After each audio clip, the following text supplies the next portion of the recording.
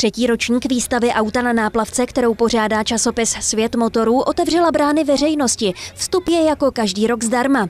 To nejlepší, co automobilový průmysl nabízí, je během této akce k vidění na obou vltavských březích mezi železničním a Palackého mostem. Auta na náplavce podporuje magistrát hlavního města Prahy a městská část Praha 5. Ta tuto akci pravidelně zaštiťuje. Doufáme, že i další ročníky budou takhle úspěšný, protože tolik aut pěkných na náplavce jen tak někdo nevidí. Akce, které jsou, které jsou přidružené, jsou taky výborné, takže si na to přijdou i milovníky kulturních akcí. Je tady 110 aut, 28 značek a máme mezi nimi 10 českých výstavních premiér, na což jsme hrdí. Říkáme, že máme auta pro život, takže to není výstava žádných luxusních sportovních vozů a podobně. Jsou to vozy, které si opravdu lidi můžou vybrat a koupit, buď už teď, anebo v blízké budoucnosti. Jedním z velkých lákadel na Smíchovské straně je Hyundai Nexo, auto s pohonem vodíkových článků. Tento stroj představuje budoucnost automobilismu. My z časopisu Svět motorů jsme proto auto jeli až do uh, Bruselu, do centrály Hyundai a vezli jsme ho do,